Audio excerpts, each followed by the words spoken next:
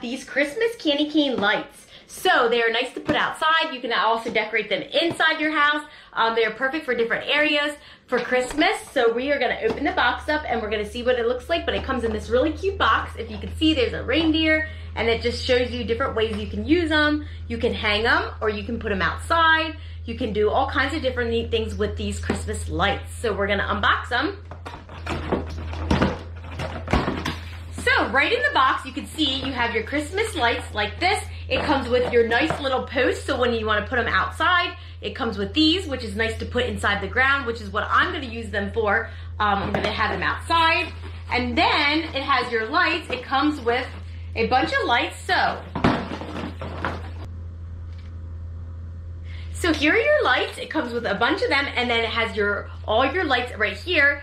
And all you have to do is you plug this into your outlet. It's just a two-prong out.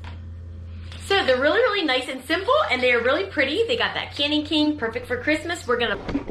So if you guys can see, they twinkle really, really nice. So they are so pretty. They're perfect for Christmas, but I love how they just twinkle with a very